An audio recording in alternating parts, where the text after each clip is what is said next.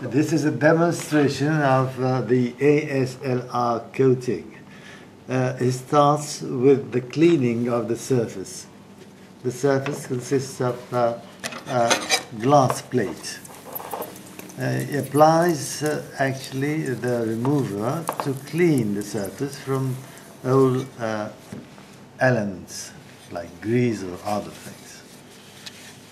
Uh, the cleaning has to be done properly.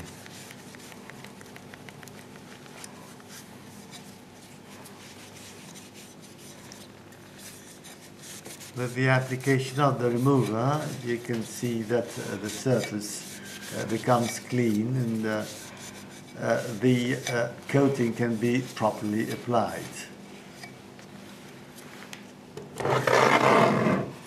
Now let's see the tester readings.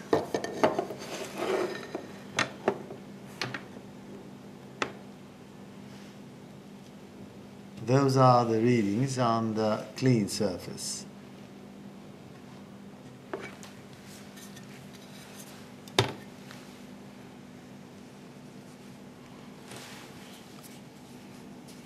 Then the coating itself is applied.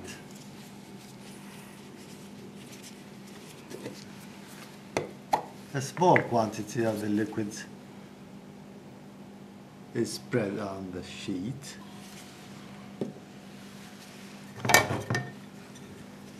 And half the surface of the plate is coated to show the difference.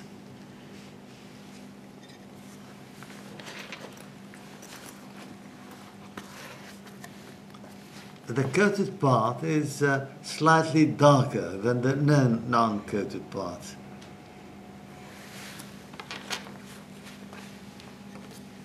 It dries very quickly, at room temperature of course.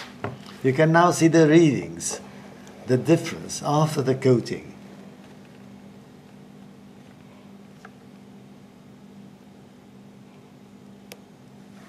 The difference of the readings is clear.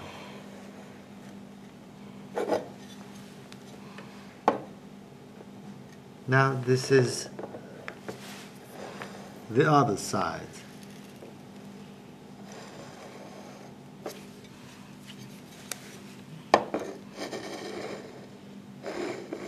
The difference of uh, the readings is clear between the coated and the non-coated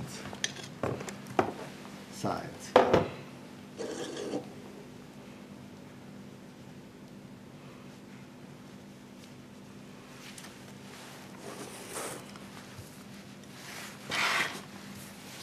To reproduce uh, the effect of uh, sand, uh, dirt, or dust.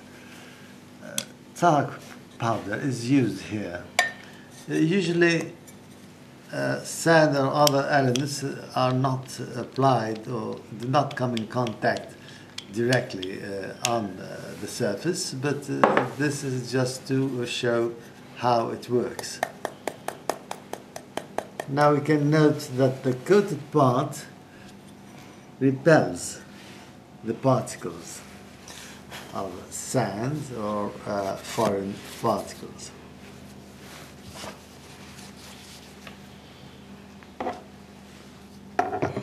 The antistatic features of the uh, coating uh, repel. Uh, the, uh, now we can see the readings the coated, non-coated part and the coated part. Of course, the uh, coated part is clear of uh, foreign particles of the powder that has been spread. And you can note the difference and the readings for visibility, uh, IR, infrared, or UV uh, uh, rays.